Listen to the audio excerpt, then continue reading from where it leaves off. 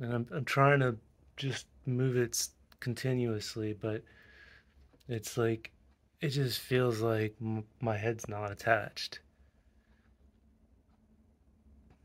And I can hear it like grinding.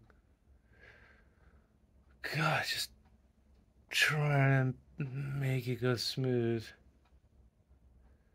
I have to like really tense up to make it go smooth.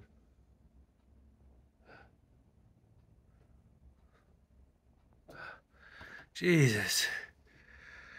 Oh, God. Oh, it's just like crack, crack, grind, grind, grind, like the whole way, like in my upper cervical. Feels like, I don't know, like, like right around like here. I feel it like about an inch deep in there. Uh, whatever that is.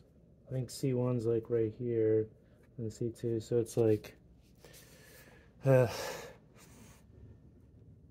I think uh, C1 like stays straight with your skull. So if I face this way, my C1's facing that way. If I, so C1 is rotating over C2, and that's probably where the grinding is, because that's how it would work physically. Like, it wouldn't be between C1 and C0 because they're moving in sync.